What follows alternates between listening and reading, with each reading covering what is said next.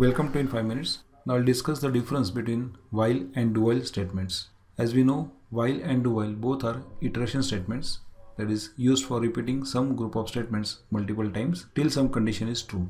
But there is some difference in working and difference in syntax.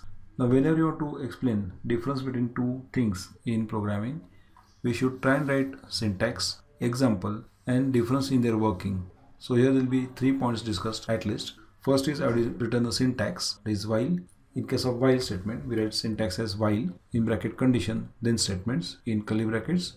In case of do while, we write do, then curly brackets, some group of statements, and then we write while with semicolon. So there is a one difference, that is syntax difference. Second is for while statement, the condition for repetition is mentioned at the beginning of the statement and therefore it is called as entry point checking. When the program enters the while, that time only checking is done.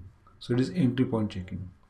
The condition for repetition is mentioned at the end of the statement in case of do while statement. So it is called as exit point checking. So program will enter the do statement work with statement once and then while going out of the statement there is a condition checking is done. If that condition is found true then obviously it will repeat.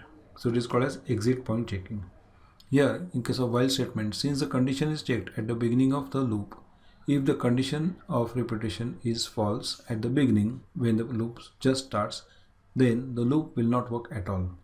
Here, in case of do while statement, since the condition checking is done at the end, whatever the maybe the condition is, the loop works at least once. So these are the three major differences between while and do while.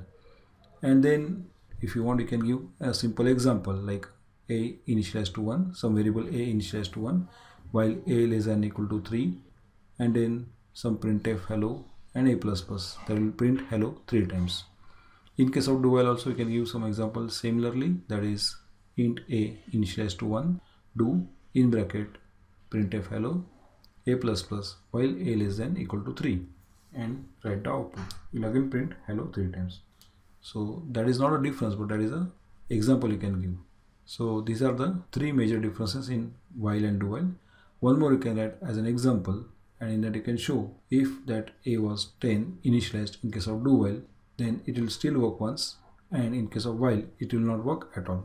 Now to understand these two statements obviously we need to understand first while and do while. So you can refer to while and do while statements again see their working once and then you can come back to this video. Thank you